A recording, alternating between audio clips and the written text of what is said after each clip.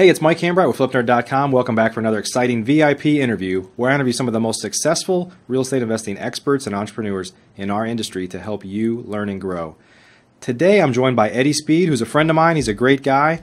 Uh, even though I've interviewed people in, from other countries, Eddie actually is only about 20 minutes away from me right now, uh, even though we're doing this via Skype. But he's widely known to be the leader in the seller financing and non performing note areas. And uh, Eddie is the founder of the Note School, which is recognized as the market leader in teaching others how to invest in notes. So today we're going to have a lesson from Eddie on notes, kind of a Notes 101 uh, interview here on flipnerd.com. Before we get started with Eddie, though, let's take a moment to recognize our featured sponsors. RealtyMogul.com is an online marketplace for real estate investing, connecting borrowers and capital from accredited and institutional investors. Get a rehab loan fast and close in as little as 10 days. Rates start as low as 9%. We'd also like to thank National Real Estate Insurance Group, the nation's leading provider of insurance to the residential real estate investor market. From individual properties to large scale investors, National Real Estate Insurance Group is ready to serve you. Please note the views and opinions expressed by the individuals in this program do not necessarily reflect those of FlipNerd.com or any of its partners, advertisers, or affiliates. Please consult professionals before making any investment or tax decisions, as real estate investing can be risky. Hey Eddie, welcome to the show. Hey Mike, how are you doing? Good, good. We could have we could have just come to one one another's office or something and done this in person. Literally, um, I, like you, I, I, do I do interviews and stuff all over the country. Yeah, uh, certainly weekly, if not many times a week, and uh, you you and I could have had breakfast together, but yeah. uh, it does it does the structure works a little better doing it like yeah, this. Yeah, yeah. Well, hey, good to see you, and thanks so much for joining us today.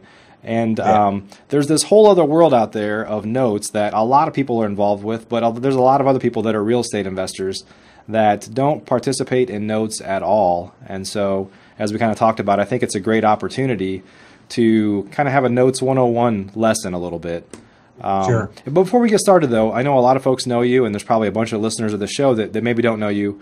Uh, why don't you tell us a little bit about your background and how you got into the niche of, of the note world? Well, I really got into it by accident. Uh, I started in 1980.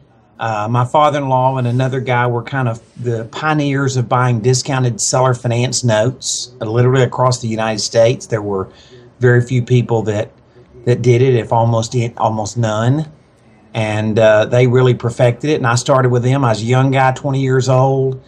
Uh, I laugh and tell people I was clueless. I knew, I thought alone was being by myself. so um, so I, I, just sort of fell into it. Uh, that was in Mississippi.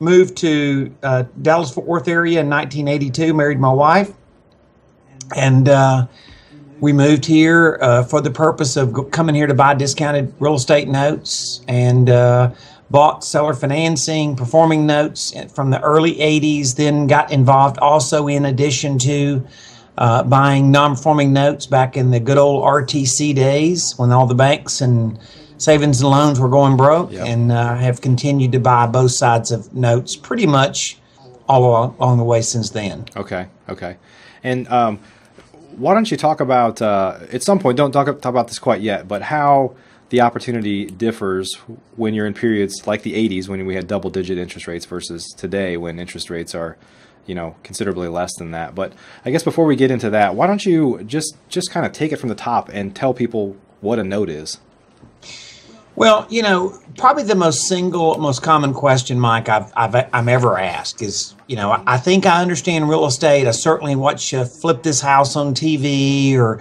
that kind of thing, and I understand about being a landlord, but I don't understand about being a note. And so I always, I, I do speaking engagements all the time across the country, and I'm like, how many of you guys have owned a note? And you know, five percent of the audience will raise their hand every time, meaning ninety-five percent think they've never owned a note. Right and then I pop up on the screen a picture of a check, and I fill the check out, you know, kind of animate it and fill the check out on stage, you know, as it's I'm talking. And I'm like, how many of you have owned a note now? And you know, the answer, they'll all raise their hand. I've all owned a note. So a check is a note. We buy installment notes. So we buy notes where it has an interest rate and payable over time. And we buy notes at a discount. And so the best way I describe that, Mike, is if I gave you a thousand dollar check and you didn't have a checking account, could you go cash the check somewhere? And you'd say, Yeah, I'd get on Google and I'd find a check cashing service and I'd go cash the check, right? And would they cash the check? Yeah. Probably so. What's the catch? Most people would say they're going to charge a fee. Well, technically, that's not correct. They would simply pay less for the check than was the, written on the check. Mm. They would buy your note at a discount. Eddie still owes a thousand bucks. So we buy discounted real estate notes, meaning we pay less than the amount of the note secured by real estate. So, uh, give an example with a house. So, you have a house that somebody has a loan on uh, for So, hundred so thousand let's dollars. say Let's that say. you owner financed a house. Okay, uh, you you you you had a house and you sold it for a hundred grand. They paid ten thousand down. You have a ninety thousand dollar note payable over thirty years, and you come to me and you say, Eddie, I want to sell this note. Well, I'm not going to give you ninety grand. I'm going to give you sixty five or seventy grand. So I give you seventy thousand dollars for the note. I collect the ninety thousand dollars plus interest over the life of the loan. I don't get all the money up front, and you got less than the face amount of the note because you got the money up front. Right. Now, let's say, Mike, that you own the First National Bank of uh, Mike, okay, and and you owned a bank, and you had uh, made a mortgage loan, and somebody defaulted. They weren't paying, and you said, Eddie, I got a, a deal, and this customer hadn't paid in three or four years, and we want to sell the note. And I basically just kind of back into the price of the note. Uh, kind of like a pawn shop would. Yeah. You know, based on a percentage of the value of the real estate let's say the house was worth a hundred, I'd say, well, even after I pay the taxes, even after I pay for the legal fees, I don't want more than fifty thousand bucks in the deal. So I kind of back into that budget and say, well, I'll pay forty-two thousand for the note. Mm-hmm. So I give you forty-two thousand. The note could be seventy thousand, or it could be one hundred and seventy thousand. Right. And so that's basically the concept of I buy a note at less than what they owe. I buy paying notes, and I buy notes that aren't paying. Okay. Okay. And so, what you just described there is that that's typically what's referred to as a performing note versus a non-performing note. That is correct. Okay. Okay. So talk about this in the context of the different sides uh, of a party that you typically deal with. You have note buyers that are buying maybe from investors or maybe from lending institutions, and then you have the investor side that is happy to sell them to you at a discount, much like a wholesaler would sell a house for less than what the face value is because they're just trying to make a smaller spread and get their money back faster. Right. So I, I'll kind of fast forward you. Over the past 34 years, I've bought notes about every way you can do it. Um, I, I'm the first guy in the United States to ever go to the courthouse and kind of figure out you could do courthouse research and find people that own or finance their property and mail them a letter, hey, you can sell your note. And I'd say uh, probably a third of the people literally uh, uh, on your, you know, that are listeners to, to the, your show go, oh, yeah, I've seen, I've, I own or finance one time and somebody did that. So, you know, I've done it a lot of different ways. Today, we deal much more with investment firms, what I refer to as hedge funds. We do a lot more of that today than we do just dealing with individuals. Okay. And the and the simple reason is this: um, our executive team has bought three billion dollars in discounted mortgages. So we're in the club. Yeah. You know, it's if there's a if there's a society to buy discounted notes, we've been we, we, we get invited to the chapter meeting. You've got the so ring. Exactly. So, um, and and so there's investment firms that bought tons of bank foreclosed properties in bulk. Okay, and they were inexpensive houses, and they owner financed them. Typically, other than in Texas, they probably did it on a land contract, and they sold them via a land contract, and it's just a receivable where they owner finance the house, and they're getting paid mortgage payments every month in lieu of renting it. Okay. Now that now they have an expiration date on their hedge fund, so they've got they're three or four years into it, and they've prom- promised these investors they're going to give them their investment money back plus their return, and so now they need to sell these notes to to basically liquidate the assets in that investment fund, um, you know, to give to the investors. And uh, so we can buy 200 notes at a time, or 500 notes at a time, or 1,000 notes at a time with less brain damage than trying to just buy one off note. Yeah. I certainly know how to do it. There's a dimension of note school where we teach people how to do that, but it's not what we personally focus on so much because there's an incredible inventory of really good performing notes that we can buy at a discount. And then basically we buy, we we have a private equity fund, so we raise money to buy these assets, and then we resell them. And it's as simple as we buy them by the case and sell them by the bottle. Yeah, yeah. And and when you teach people, Eddie, at Note School, are you primarily teaching them how to participate in these bigger uh, institutionalized transactions, or are you teaching people like if somebody said, "I want to get started in notes," and they're an individual and a small fry, uh, where do they start? Well, there's so many of these notes being disseminated, both performing and non-performing. So the analogy I just gave you was the analogy of how we would find a performing note. Okay, yeah. the non-performing note um, is just simply a matter of inventory. There's currently about 300,000 REO properties. Okay, there is currently about nine million defaulted notes. Wow. So the inventory imbalance of notes versus bank foreclosed properties is pretty incredible. And so there's a there's a distribution system. Uh, the really big banks, the, the top 50 banks own 90% of this inventory. Mm-hmm. So if and so what happens is is there's they're always out there looking for an opportunity of how they're going to sell these uh, notes, and so they sell them to these really big investment firms, the ones you've read about, Oaktree, Roosevelt, Blackstone, Carrington Colony, all of these guys. Yeah. And they are typically not going to keep the lower price band notes. So the more inexpensive notes, it just doesn't fit their long term investment model. And so they immediately package those notes up and resell them. So they initially kind of when they run their pricing determine what they're going to pay for the whole portfolio they price these knowing that they're paying way less for these notes than they are the the better higher price band notes that they're going to keep. Okay. And so then they resell them in the marketplace to firms like us. Not just us, but we certainly do that. Yeah. And then what happens is that we uh, redisseminate these assets in the marketplace as little as to a one-off investor. Okay. So Eddie, kind of clarify there. Where you just said that they're they primarily are going to sell off the lower dollar value properties. Why is why is that, and where is that line typically at? They, they, they basically take the position we got billions of dollars. Okay. And they don't want they don't want to they don't want to keep 30, 25 30,000 bucks out on one asset. Okay. You know, it's just not they can't, you know, it's just they're trying to drive a significant model and they just you know, there's part of it they're just going to kind of lop off and just determine it's just not going to fit what they even want to try. Yeah. Just horsepower of people. Right. Right. Yeah. So when you buy a portfolio of notes, uh, like you just mentioned, then where do you go from there? What do you do next? Well, you know, one of the one goal is whenever we buy these assets, we have to do enough due diligence when we buy them to make sure that we're happy with them. We may never sell a note, so we got to make sure that what we bought we like we like and we can live with. Yeah. But we Note School clearly is a unique model because we're training people to buy these assets all the time and for the most part, that's who we sell um, sell these notes to is people that have been to some facet of note school and learned a little bit about the business.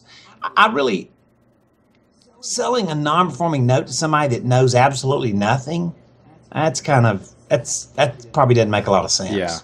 And, and when you said you, you may never sell the note, so what is your what's your? I know you have multiple exit strategies, just like on uh, the wholesaling and rehabbing side. But sure. typically, what you're trying to do is you buy them at a discount. They're performing, and you're just basically acting as you're just the, you're the lender at that point, where payments are being made to you, and you're making a return on the investment you made. Is that right? That's correct. So once again, we buy two types of assets. We buy notes that are paying. We buy notes that are not paying. Yeah. We pay a higher percentage for the notes that are paying, obviously, than the notes that aren't paying. Because there's less risk, okay. right? exactly, and and so the notes that are paying, we, we buy them at a good return. We resell some of those notes. There, we work with several self-directed IRA administration companies, folks like that. The IRA administration uh, industry is a lot of people are sitting with uninvested funds, what you'll hear me refer to as dry cash. Yeah. And so it's critical in the marketplace that as the rental property market has gotten tighter, that there's an alternative that really does work. And buying performing notes is really a lot easier than owning a rent property. And you and I were visiting you know, and just very recently, and you were saying exactly that. Yeah. I mean, you just you'd rather have a note than than a rent property Right. if all things were equal. Right. And we kind of help people do that and know what that really how that could work. Sure. Sure. Now, a non-performing note, I refer to us as a pawn shop for real estate. Meaning, everybody's seen the show on the History Channel or whatever. Yeah. Everybody kind of understands the concept of a pawn shop, right? Figure out what the as-is value of the, of the collateral is, and you just back into a percentage of that. Yep. And and what is the typical hope with?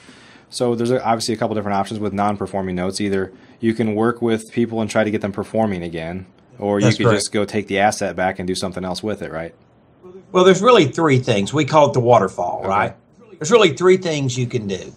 Modify the customer, and we're going to do everything we can to get a customer that is currently living in the property still to modify and get them paying again. And because we bought the note cheap, we can be super flexible. Yeah. Right.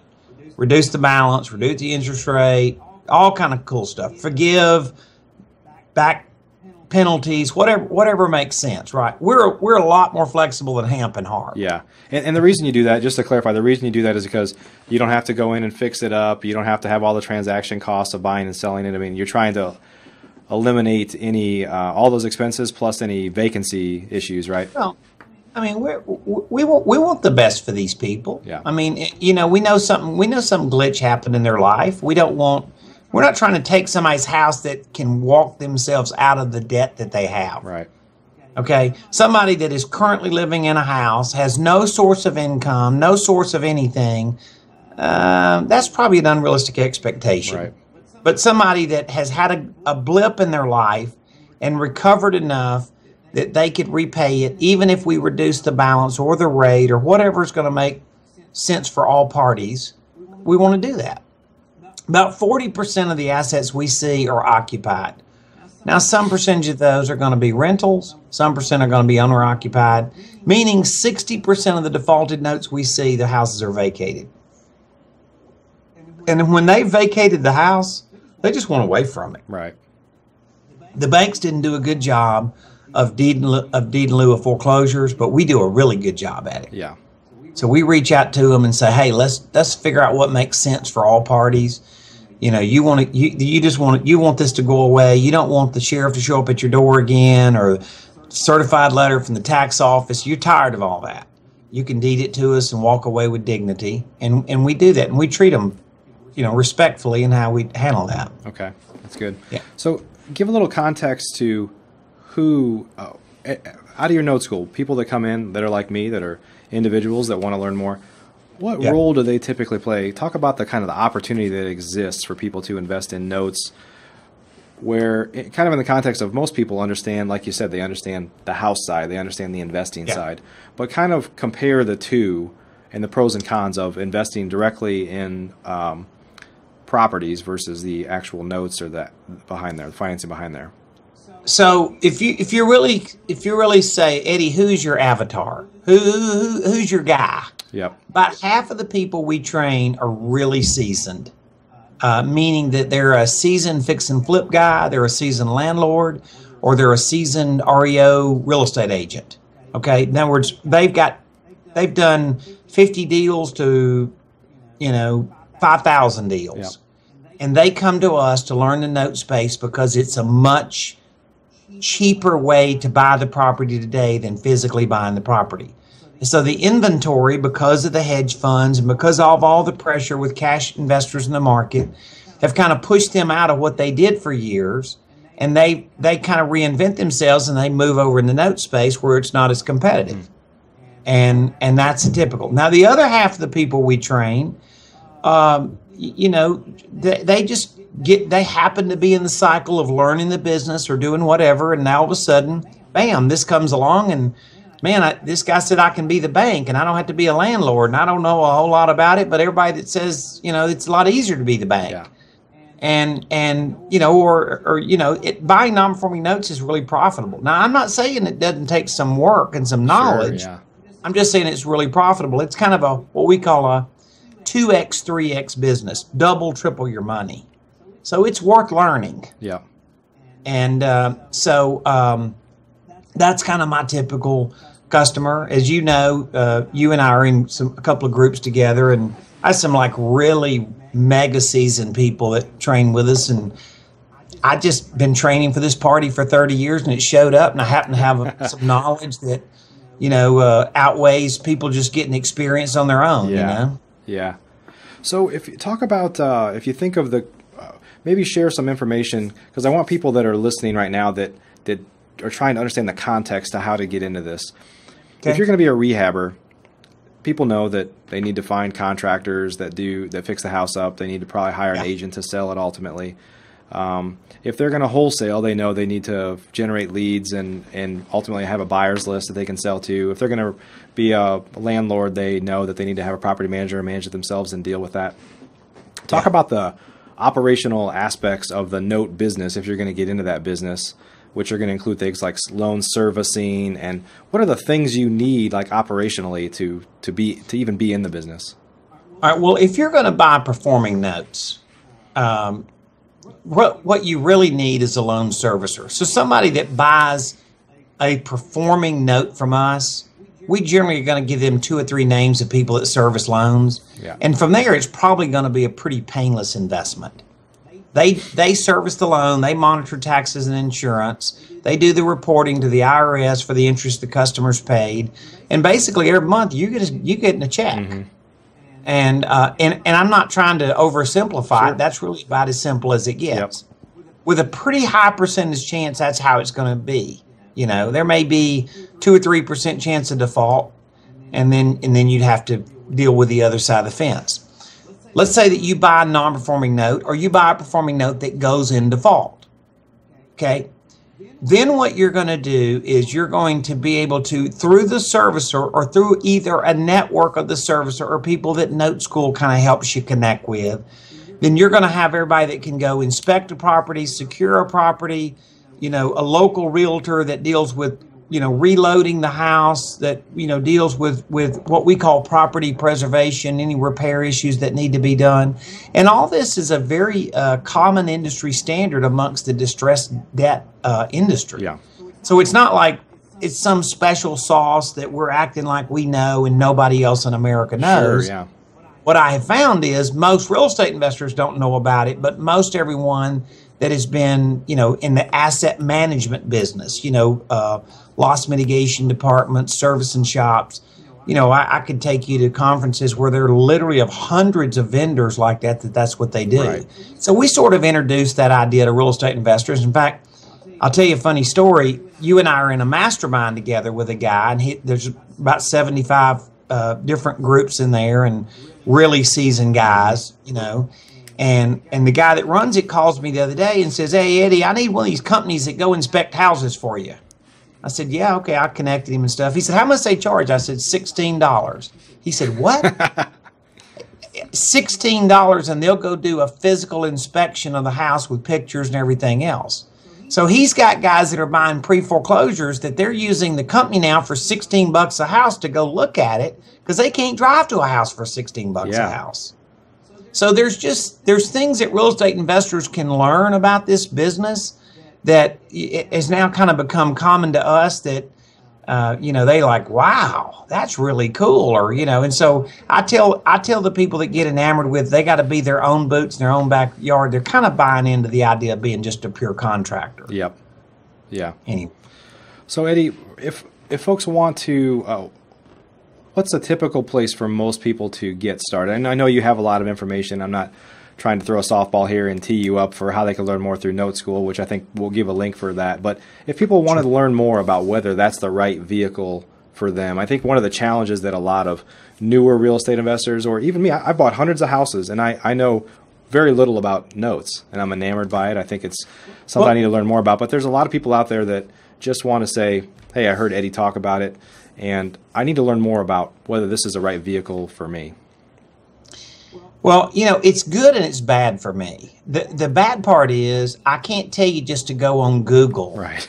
and, and, and just go find everybody that has something to say about notes because a lot of those people that are talking about notes, in my humble opinion, don't have a great deal of real experience. You know, and uh, it, it, it is it, there are limited resources to learn it. and that's one of the reasons at Note School we built it and it did so well. I mean, uh, I I don't I'm not really a guru guy, you know. I'm not a late night TV.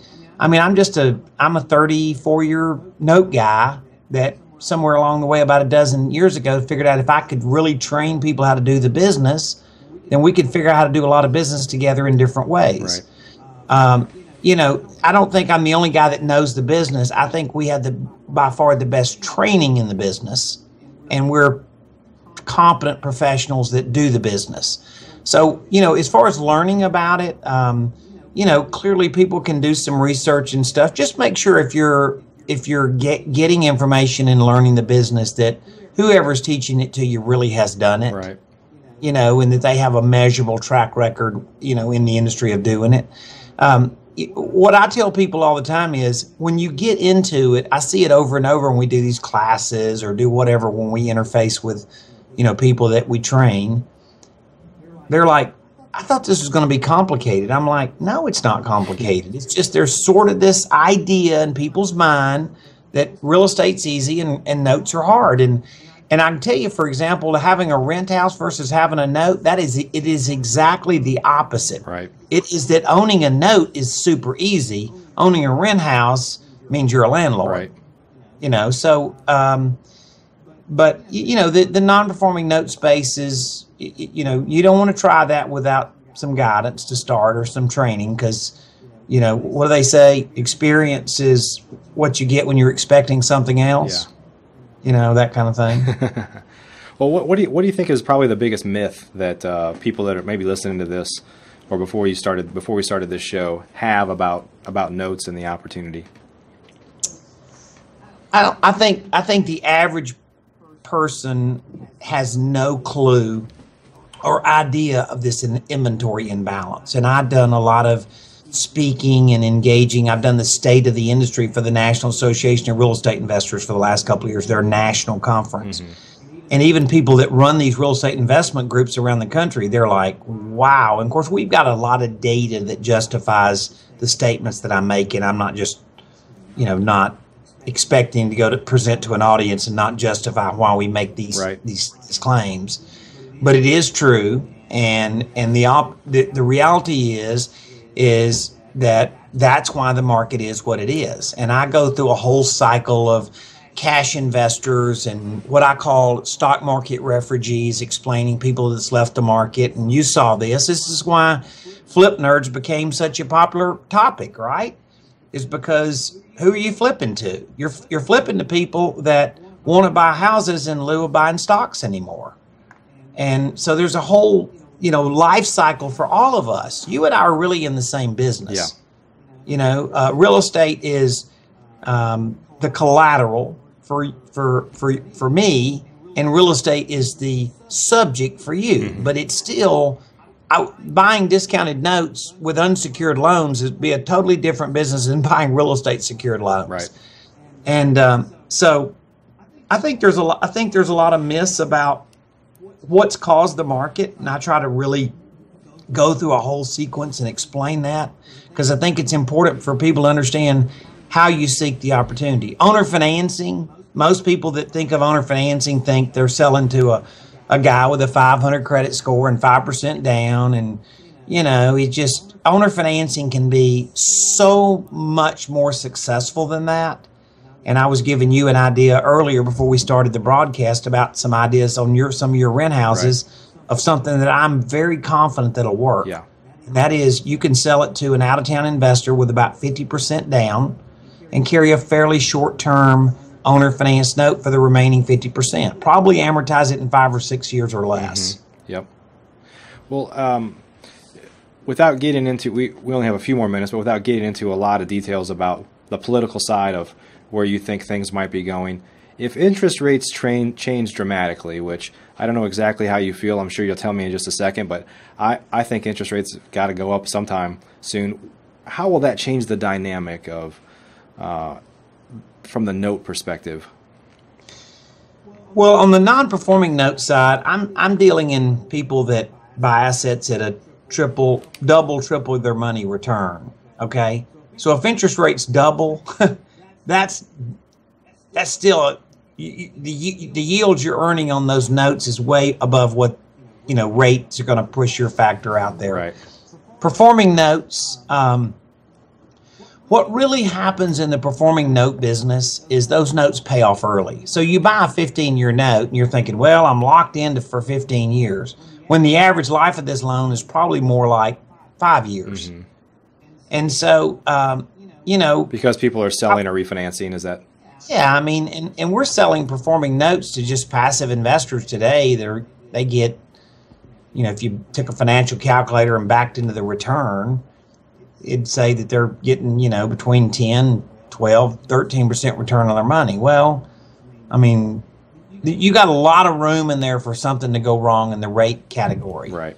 And the problem is right now, and this is what I think this is what we see over and over is people have sat on their money. They can't find an investment that's paying them a good return. They can't wait for two years to go figure out what's going to happen to rates. They've got to get their money deployed. Yeah. Dry cash earns zero, right? Yeah. Kind of, sort of. Yeah.